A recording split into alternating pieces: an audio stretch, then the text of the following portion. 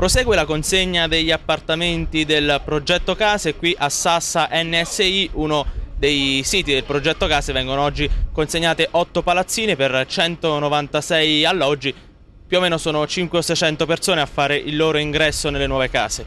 Siamo contenti, finalmente ce l'abbiamo fatta. Come avete passato questi lunghi mesi? Ma noi siamo stati subito il sisma una settimana, 10 giorni massimo in macchina. Poi a Campo 2 di San Giacomo, che stava situato vicino a casa mia. Sì, qui scorrazzavano i cavalli, in 70 giorni c'è un nuovo quartiere, che difficoltà ha comportato?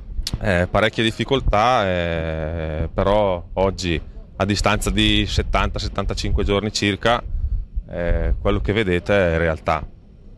Eh, si è iniziato verso la fine di luglio con, eh, con la posa delle prime pareti e dopo appunto 70-75 giorni eh, siamo arrivati a, alla consegna definitiva degli alloggi a, alle persone dell'Aquila.